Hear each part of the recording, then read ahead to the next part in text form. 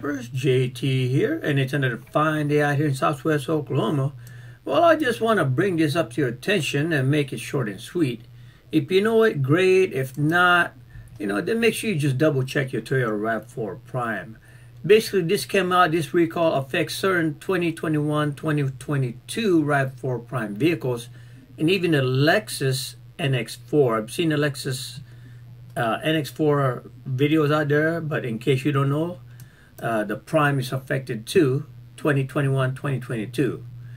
Now, if you're in the Midwest area like me, you might say, again, you might be okay. But those in the Great Lakes or frozen tundra areas where the ambient temperature drops below 41 degrees Fahrenheit or 5 degrees Celsius, do be careful. And I'm talking about ambient here, meaning the temperature in that particular surrounding area. Kind of like room temperature. It might be 5 degrees, but if that cold wind is blowing, it sure will get colder, so just be alert. Now, I don't mean to panic anyone here. You know, you can read it here for yourself. All right. I knew about this back in July 2023 when I saw the news footage. And of course, I went to the NHTSA.gov website, and here's what popped up. All right. Same thing. Okay. Self explanatory there. You can read it. Uh, I called my local Toyota dealer, and of course, their answer was We are aware of the recall. However, we have not been provided any guidance yet, and there is currently no need for you to bring your vehicle in for service. And so that is that.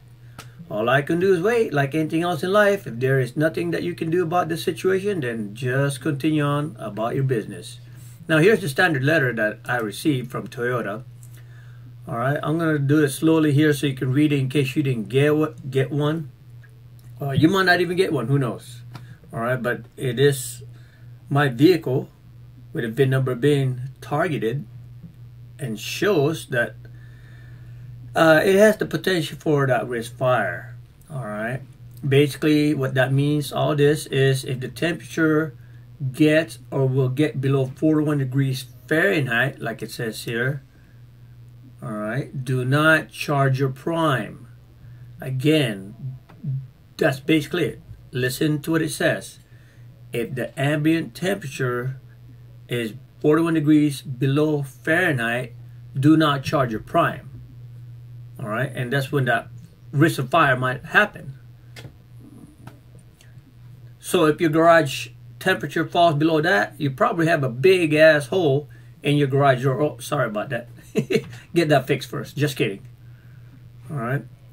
Here it is. You can read it. I'll put it here so you can read it for yourself. Again, it might not affect you, but if it does, and you see this on your display pop up, the message hybrid system stop, stop in a safe place, shift to C, shift to park, see owner's manual.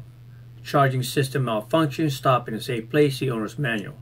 All right, when you see that, of course, hey, best you just stop, no matter what's going on, and call your Toyota dealer or have it towed to the dealership.